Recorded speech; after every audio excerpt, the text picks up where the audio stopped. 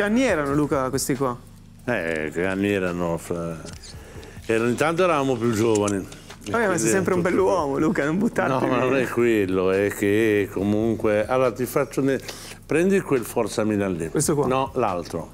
Eh, qua erano tutti giovani, Allora eh, ti in fa... copertina. Puoi vedere le, le facce di Maldini e di Tassaro. Guarda come eravamo, come erano loro. Eh, E guarda cosa c'è scritto sotto. Ma vedremo anche Guarda cosa c'è scritto sotto. il nuovo San Siro, Stiamo parlando di Forza Milan dell'87. attualissimo. Si parlava del nuovo San Siro, sì. Però in realtà qui si parlava del terzo anello, dei lavori per i mondiali del 90, eccetera, eccetera. Però, insomma, erano anni eh, molto particolari perché il Milan arrivava da un periodo pazzesco di alti e bassi, sembrava di essere su un ottovolante, c'era stata la gestione di Giussi Farina, c'erano state delle illusioni, l'acquisto di Gerez che era il capitano del Belgio, un terzino fantastico, arriva, segna, tutto, dopo pochi mesi viene arrestato perché si era venduto le partite in Belgio. Tra l'altro guarda qua cosa ha in mano. Sembra Eric fatto Gerets, apposta, eh, ma non è sì. così. Sì, sì. E tra l'altro sul Forza Milan si Era chiedeva... marzo dell'84, quindi era sì, lui era era marzo dell'84 viene spedito perché era entrato in questo pasticcio di calcio scommesse eccetera. Quindi nel, eh, nell'86 arriva Berlusconi e cambia un po' oh, le cose. Allora che anni erano? Io vado a Forza Milan, poi ne parliamo con calma, che è questo mensile creato negli anni 60 quando si dice che il Milan è avanti, è avanti in tante cose, è stato il primo club ad avere un eh, house organ, si dice adesso, il mensile della società si diceva allora, negli anni in cui sono venuto al mondo io eh, c'era Gino Sansoni che fondava Forza Milan, portato avanti poi da Taccol, da Renato Ferrari per tantissimi anni ed era, sai, devi inquadrare bene una cosa, cioè all'epoca non è che vedessi molto calcio in tv, leggevi la Gazzetta perché il Corriere dello Sport e tutto sport ancora dovevano sbocciare, diciamo, e, e poi dello i quotidiani politici davano poco spazio.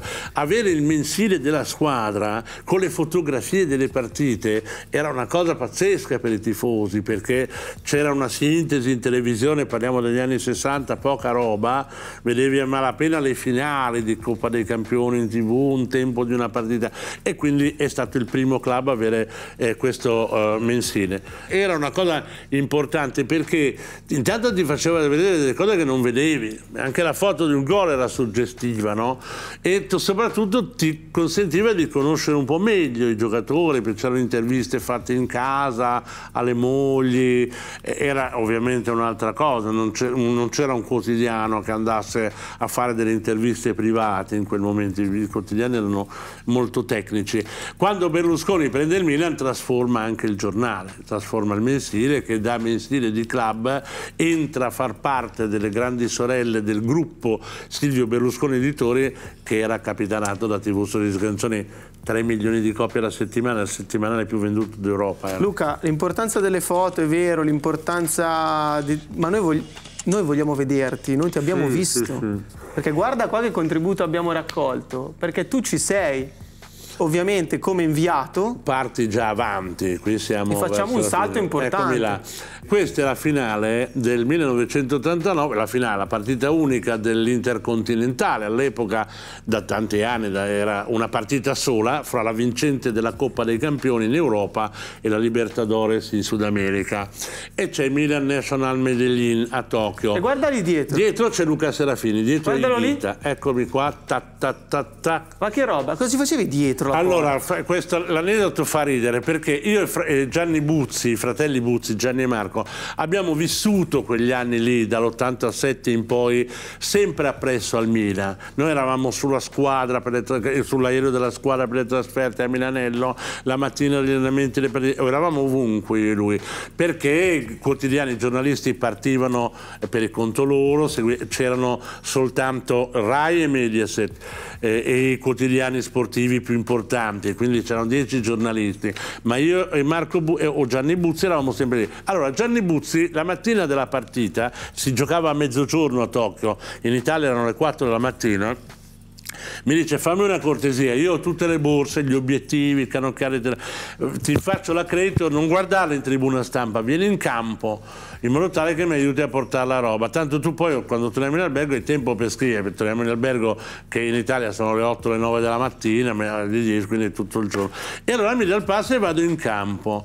Io soffro come un pazzo, sono a bordo campo, una partita collosa, non finiva mai, noiosa, una, una, delle più brutte partite europee, perché il, anche il Medellin di Maturana era un idolo di Arrigo Sacche, la pensava con lui, pressing, fuori gioco, quindi non succedeva niente tu, tu, tu. e in più queste trombette per 120 minuti. Finalmente segna quel gol Chico Ivani pazzesco e io sono dietro la porta perché Gianni faceva le foto dietro e sono l'unico che si alza. Vuoi farlo rivedere? Rivediamo, rivediamo. Perché quando io esulto in tempo reale mi, mi ricordo, faccio mente locale che sono dietro la porta fra i fotografi, quindi mi rimetto subito a sedere, no? Beh, un pirro, certo. sembravo... Questo invece Galliani aveva meno problemi, si è buttato in campo, è entrato e ha esultato. Pensa che questa partita qua è una delle poche mi, in cui mi sono commosso, mi sono messo a piangere, mi sono un po' inumiditi gli occhi. Perché? Perché alla fine della partita eh, io ero contento e basta, poi ero stordito dalle trombette che però durante la partita le senti meno. Ma eh, eh, mi viene incontro ma, Paolo Taveggia, il direttore generale del Milan, eravamo molto legati con Guido Susini che era il capo della comunicazione, ci abbracciamo noi quattro con Busi che avevamo molto in simbiosi e loro erano, erano commossi piangevano. E, e, quindi io le dico che ti dà il Milan, dai, le emozioni sì, che ti dà il Milan. Questo qui è stato il punto più alto del primo ciclo di Berlusconi, perché ha fatto scudetto, Coppa dei Campioni e Intercontinentale, che ti ripeto era una partita sola a Tokyo ed era molto vissuto. E fu anche il primo grande evento di Telepiù. Eh, che doveva nascere in quel periodo lì, era una prova perché poi sarebbe nata nel 91, ma fu trasmessa se non mi sbaglio dalle reti Fininvest. Abbiamo fatto un salto in avanti, però nel ripercorrere la storia di Forza Milan, la storia di, sì. di, questi giornali, attraverso la tua penna, perché poi fondamentalmente questi Forza Milan qua sì. hanno la tua mente e la tua penna dentro, abbiamo anche dei contributi video sì. e delle interviste, anche per... Prima hai certo. citato Gerez, abbiamo trovato nell'archivio, eh, grazie al nostro Cristian Danzo, non solo archivio cartaceo, ma anche archivio video, delle interviste carine. Allora hai citato Gerez e ripercorriamo anche storicamente quei momenti con questa intervista. Guarda un po'. Dunque, dopo il fascino sempre crudele dei calci di rigore, toglierà un po' di spazio ai nostri commenti a caldo, diciamo, però avete visto che le emozioni davvero non sono mancate. Subito in studio un vincitore, un vincitore di cui abbiamo parlato anche prima e del quale sicuramente in Italia abbiamo tutti un ottimo ricordo. Lo vedete già, è Eric Gerets. Ciao Eric Ciao. E, benvenuto soprattutto tra Ciao. noi. Una vittoria difficile, questa partita l'avete persa poi vinta, poi persa poi vinta ancora tante volte. Sì, penso che il primo tempo abbiamo giocato abbastanza bene, poi il secondo tempo abbiamo sbagliato a 10 minuti dalla fine una bella occasione, poi eh, eravamo un po' stanco, anche gli inglesi e per fortuna abbiamo vinto con i rigori.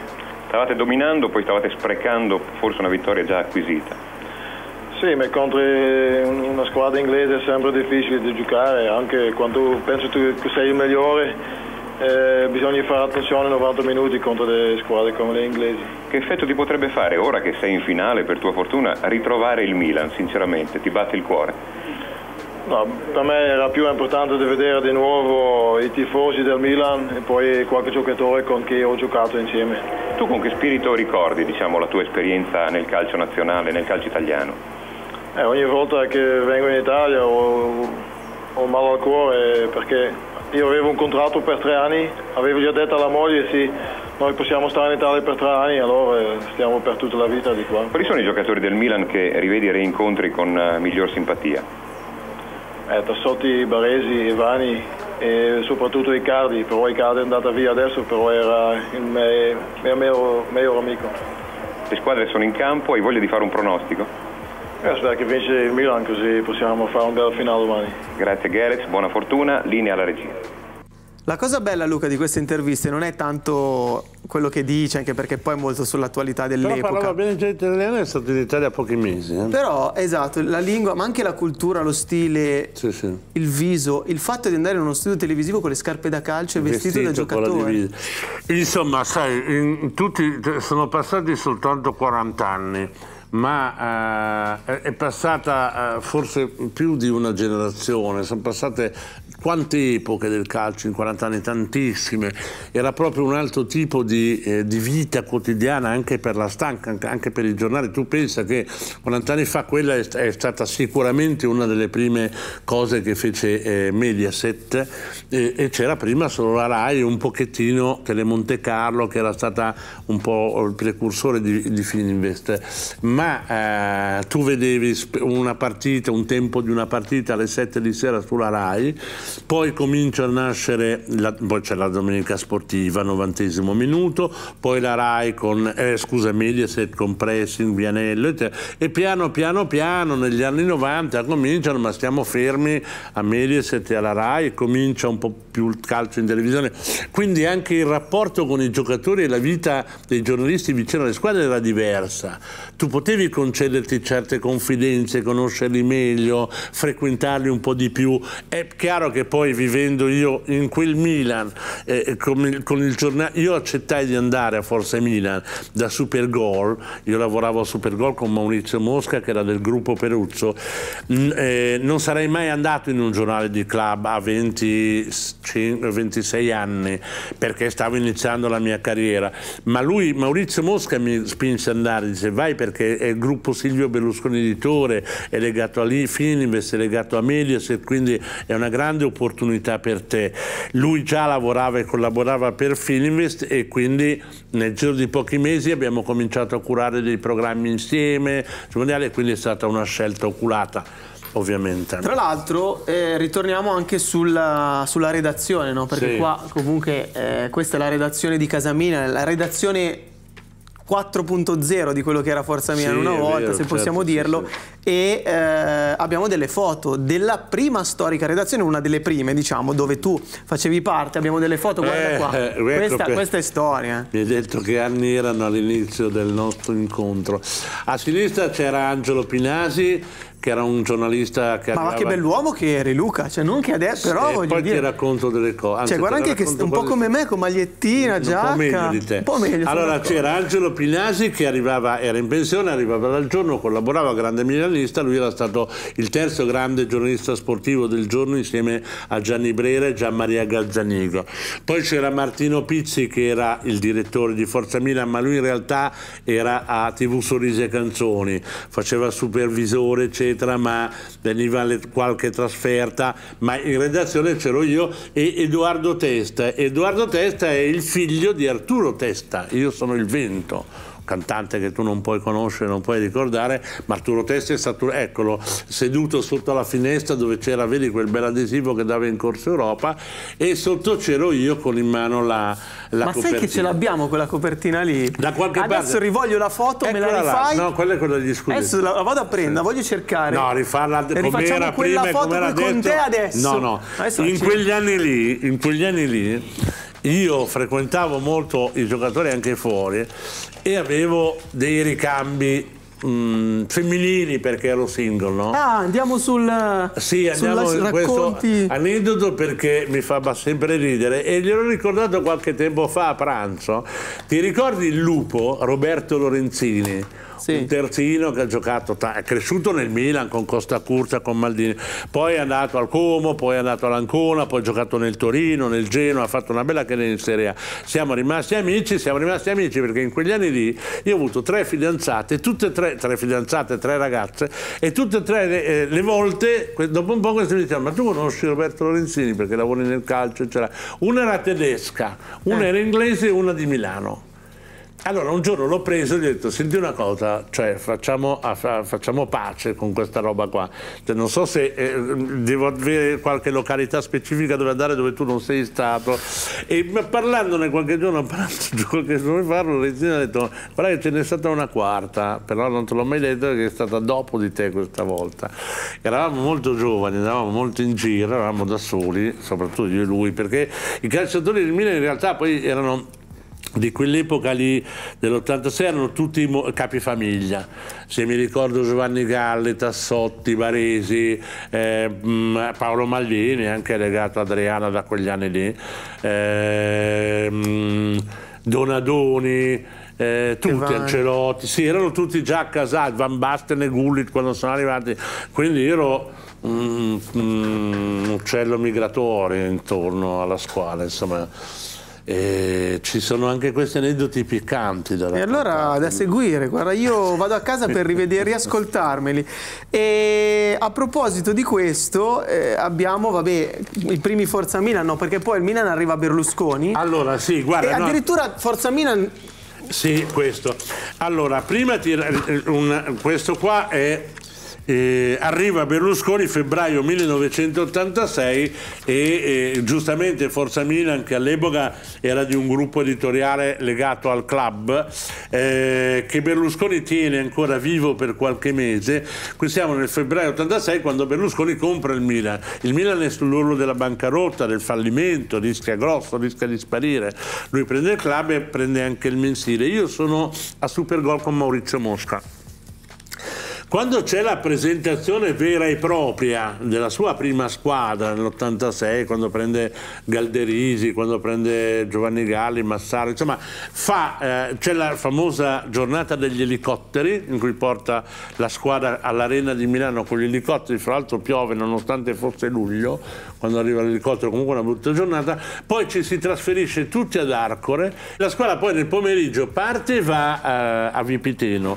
Eh, invece Berlusconi rimane in giardino con giornalisti, come ti ripeto, eravamo una decina, una dozzina, non di più, perché c'erano le testate dei giornali maggiori, la RAI credo fosse già andata via e Fininvest pure, quindi eravamo veramente pochi. C'eravamo io e Maurizio Moschi. Berlusconi si leva la giacca, rimane in camicia, si mette in giardino con noi e comincia a parlare degli stadi numerati, che lui aveva in testa gli stadi coperti, tutti numerati, vietare le trasferte per non avere incidenti, il Milan in borsa che è l'unico progetto che non ha mai mantenuto e tutta la filosofia che lo avrebbe accompagnato a diventare quello Infatti qua c'è anche la prima intervista storica di Berlusconi così farò grande il mio Milan se vuoi farlo vedere con le sì, immagini anche dell'elicottero e dopo guarda poco più avanti. sì la, la, beh, la, pagina della Gazzetta dello Sport eh, che evoca il suo primo atterraggio a Milanello in elicottero e poi la sua prima intervista.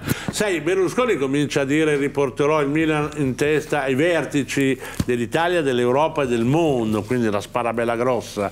E la e stampa come l'ha presa? Eh? Come l'ha presa la stampa? Le, mh, mm, con una discreta... Eh, la stampa era un pochino più eh, prudente. Stefano Tacconi invece quando al Milan a terra con gli elicotteri all'arena, dice gli serviranno per scappare per tutte le partite che perderanno. Non ci aveva visto lungo, lo racconto perché Stefano poi è diventato anche un amico. Quando lui è arrivato è una sfida molto grossa, è una sfida molto importante. A Vipiteno poi andiamo io e Maurizio Mosca per la prima amichevole del Milan di Lidolm. Per chi non lo sapesse, prima il ritiro non era a Milanello. No, no, no, infatti poi ne parleremo negli anni. Andava, eh, il Milan andava a Vipiteno, all'hotel Aquila Nera se non mi sbaglio, e ci stavano 15-20 giorni, c'era l'idea che l'ossigenazione in montagna nel ritiro precampionato facesse bene, ci si conosceva, quindi stavano 15-20 giorni, ancora adesso ci sono tante squadre che fanno il ritiro precampionato lontano. E ci fu, eh, prima della partitella del pomeriggio, pomeriggio questo pranzo a Vipiteno, noi siamo partiti molto presto la mattina con Maurizio, questo pranzo con Berlusconi, Lidl, io, Maurizio e altri 7-8 giornalisti. E Lidl, siccome erano molto amici con Maurizio Mosca, era seduto alla mia sinistra qua. Qui c'era Mosca, poi c'erano altri giornalisti e Berlusconi capotavo. A un certo punto io, fra una portata e l'altra, lo posso dire, mi accendo una sigaretta e la tengo però sotto al tavolo per non disturbare. No? E vedo che Lidl si tira leggermente indietro no? e gli chiedo mi scusi mi se le dà fastidio. Lui non risponde né sì no, mi guarda e mi dice quanto fumi? E io mento, ma poco, 3-4 al giorno. E lui mi dice, diceva un mio vecchio massaggiatore, se tu vivi da vecchio quando sei giovane, puoi vivere da giovane quando sei vecchio. Non ho fatto in tempo a dire aveva ragione, lui mi dice, io ho sempre vissuto da vecchio. Lido, un grande battutista, delle battute con Maurizio che ti racconterò nel tempo, meraviglioso. Era oh, veramente, capisci, un'altra cosa, no? Poi il pomeriggio c'è la partita, c'è anche Lorenzini fra l'altro perché abbiamo rivisto la foto in quel periodo lì ed è il primissimo Milan di Berlusconi che poi arriverà in primavera in modo così così. Perde una partita ad Ascoli, il Milan eh, e il lunedì sera Maurizio Mosca va al processo del lunedì. Eh, di Biscatti era la trasmissione cult del tifoso quella lì dove si azzuffavano eccetera. E a un certo punto Berlus- eh, Mosca, Maurizio Mosca dice, mm, perché tutti gli altri giornalisti dicono eh, ma Berlusconi continua a essere invadente, dice lui a Lidon quale formazione vuole fare, gli dice lui quali giocatori mettere e a un certo punto Mosca dice ma scusate qual è la differenza? Eccolo qua Maurizio. La differenza, tutti i presidenti vogliono fare la formazione, Berlusconi è l'unico che lo ammette, ma tutti sono così, no? Martedì mattina siamo in redazione, suona il telefono, noi eravamo in Open Space, eravamo in quattro in redazione più Maurizio Mosca perché era un mensile. Suona il telefono e rispondo io della redazione perché venivano smistate dal centralino da Peruzzo.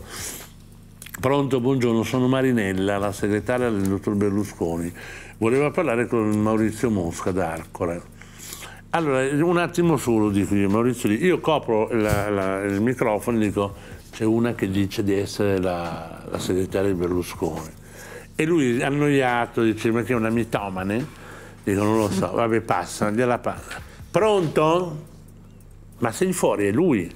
Era veramente Berlusconi. Quindi dice, ma...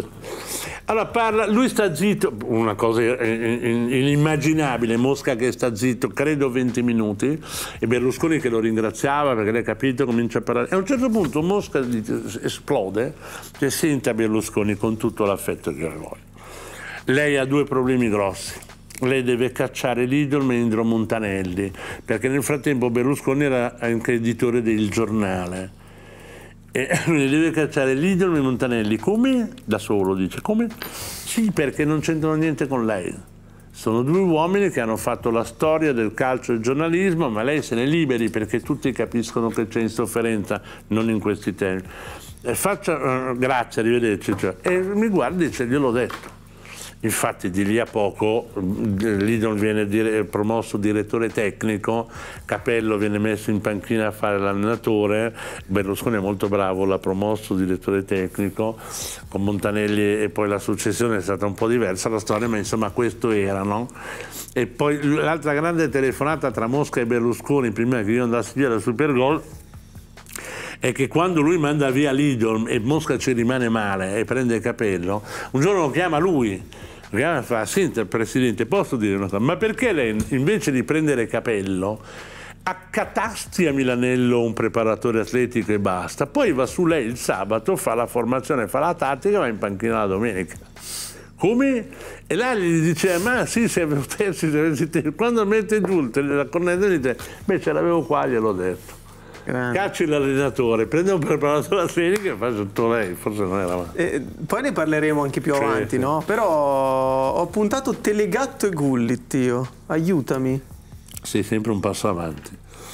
Il Telegatto era la più grande manifestazione di TV sorrisi e canzoni, che era il papà di tutte le, TV, le riviste del gruppo Silvio Berlusconi, c'era Forza Milan c'era Chuck, c'era tutto musica e spettacolo, c'era un altro, eh, quelli tascabili si chiamavano in televisione, c'erano 5-6 testate molto importanti.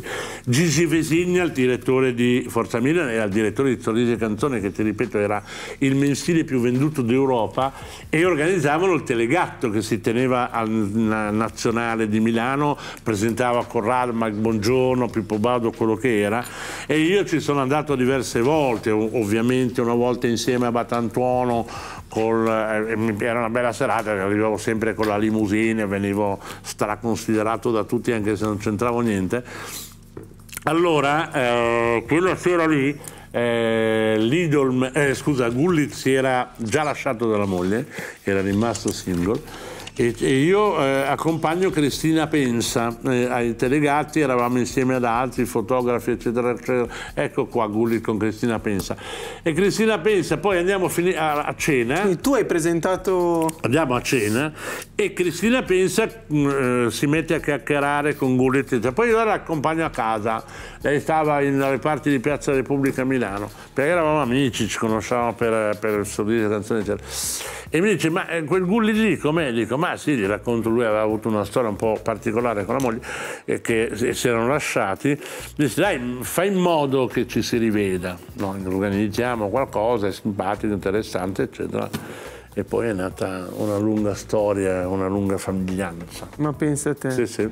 Beh, molto, molto, molto, molto interessante. Io tra l'altro stavo guardando qua, stavo sfogliando sì. il... Hai trovato Vesigno? Ho trovato Gigi Vesigno, ho trovato il nuovo Milan quello che è stato il primo Milan con il plebiscitario sia Berlusconi e il Milan e la ciliegina sulla torta, nuovo presidente e cavaliere del lavoro Silvio Berlusconi, l'ultimo acquisto del patron del gruppo Fininvest, gruppo con 6.000 dipendenti. E c'è una foto storica che è quella di eh, Berlusconi, eh, se lo tieni pure così lo sì. inquadra, anche così giù, guarda. Del taglio giù. della torta. Del taglio della torta con Franco Baresi. Allora, questo è sicuramente Gianni Nardi, che era stato quello che più di tutti era il vicepresidente di Farina, milanista sfegatato matto, era il proprietario delle cucine Nardi, che era uno stabilimento che si vedeva dalla tangenziale andando uh, da Viale Certosa a Sesso San Giovanni, poi Berlusconi, Franco Baresi e questo era il, il presidente eh, che era stato il presidente traghettatore tra,